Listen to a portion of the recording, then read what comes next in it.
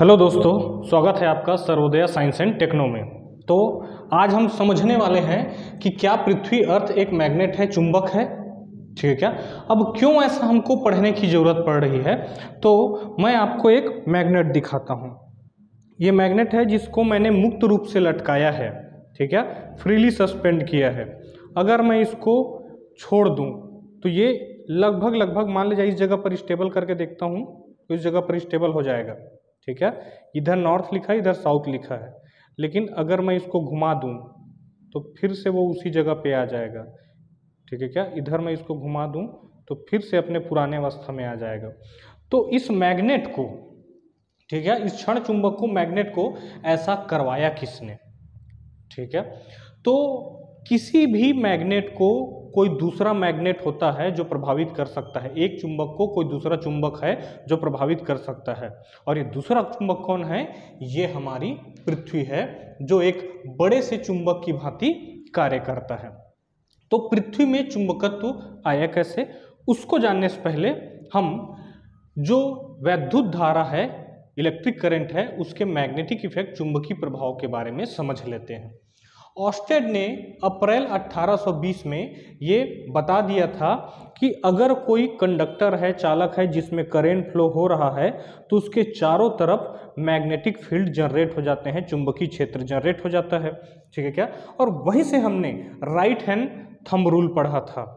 इसने क्या कहा था? इस रूल ने कि मान ले जाए करंट जो है इस डायरेक्शन में जा रहा है तो अपने राइट हैंड से इसको इस तरीके से पकड़ो कि थंब जो है, अंगूठा जो है करेंट का डायरेक्शन दिखाए। तो आपका जो कर्ल्ड पाम है, मुड़ी हुई हथेली है, वो चुंबकीय क्षेत्र की दिशा दिखाएगा। इसका मतलब ये तय है मैग्नेटिक फ़ील्ड का दिशा दिखाएगा कि किसी भी करेंट के चारों ओर क्या होता है मैग्नेटिक फ़ील्ड चुंबकीय क्षेत्र जनरेट हो जाता है।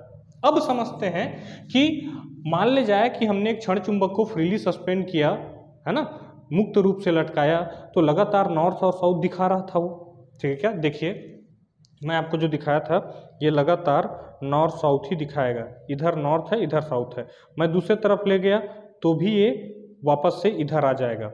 इसका मतलब इस मैग्नेट को कोई है जो ऐसा अलाइन करवा रहा है, ऐसा संरेखित करवा रहा है। और वो दूसरा मैग्नेट कौन है? पृथ्वी खुद एक बहुत बड़ा मैग्नेट है। अब पृथ्वी में मैग्नेटिज्म इतना बड़ा मैग्नेट आया कैसे? तो इस पे कई लोग सोच सकते हैं कि पृथ्वी के कृष्ण में बहुत सारे मैग्नेट हैं तो सारे मैग्नेट हैं अगर है भी तो सब तो अलग अलग दिशा में होंगे ना एक दूसरे के प्रभाव को क्या कर देंगे? खत्म कर देंगे। ऑस्टेट के ही प्रभाव से, ऑस्टेट के ही एक्सपेरिमेंट से हम इस पृथ्वी के चुंबकत्व को अर्थ के मैग्नेटिज्म को पढ़ सकते हैं। सुनिए अर्थ के कोर में बहुत ज़्यादा मात्रा में टेम्परेचर है, जिसमें आयरन और निकिल जो है, वो मोल्टेन स्टेट में, द्रव के रूप में घूम रहे हैं। ठीक है क्या? द्रव के रूप में घूम रहे हैं। तो जितने भी एटम हैं, उनको भारी मात्रा में, जितने भी परमाणु हैं, उसको भारी मात्रा में हीट मिला है, ऊर्जा मिला है।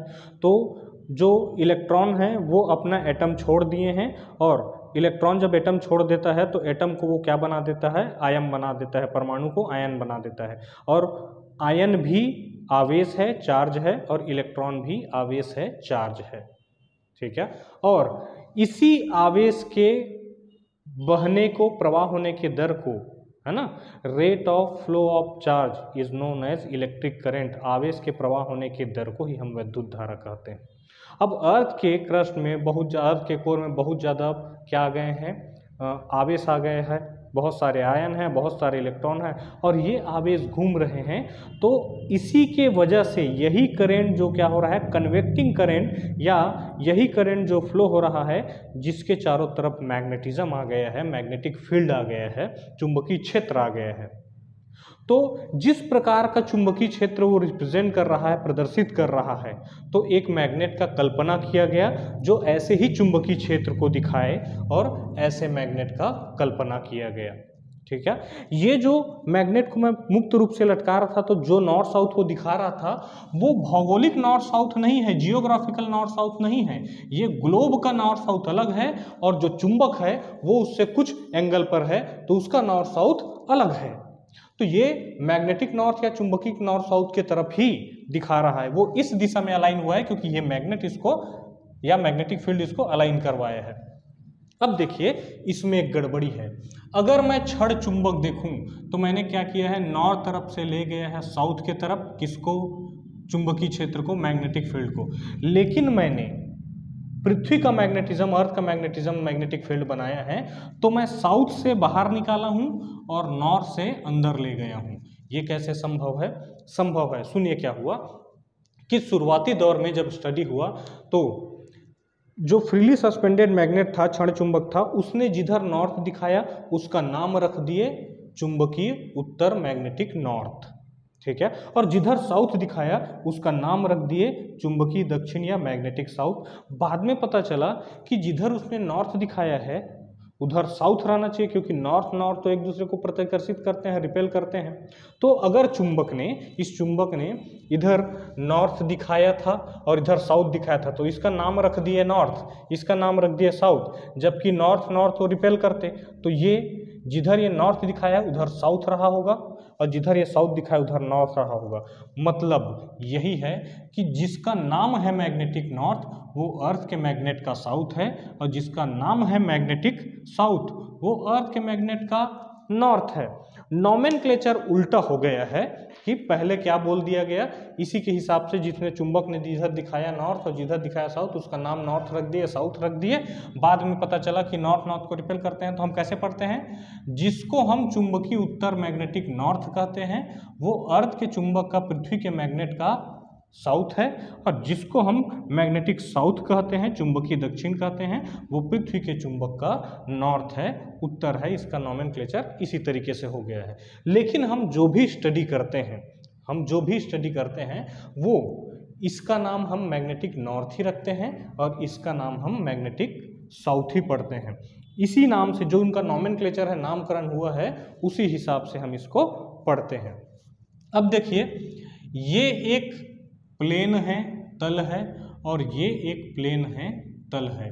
इसको बोलते हैं जियोग्राफिकल मेरिडियन भौगोलिक यामियोत्तर और इसको कहते हैं मैग्नेटिक मेरिडियन या चुंबकीय यामियोत्तर और इन दोनों के बीच जो एक्यूट एंगल होता है, ये है मैग जियोग्राफिकल मेरिडियन या ट्रू मेरिडियन और ये है मैग्नेटिक मेरिडियन इन्हीं दोनों के बीच जो न्यून कोण होता है एक्यूट एंगल होता है, इसी को बोला जाता है दिक्पात कोण या एंगल ऑफ़ डेक्लिनेशन तो उम्मीद करता हूँ कि पृथ्वी में चुंबकत्व मैग्नेटिज्म कहाँ से आया, ये आप समझ चुके होंगे। मिलते हैं अगले वीडियो में तब तक के लिए थैंक यू